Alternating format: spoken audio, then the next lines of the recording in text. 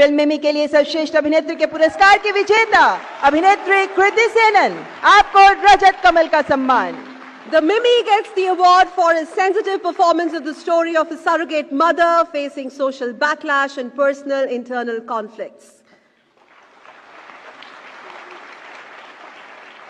Beautifully essayed by Kriti Sanan.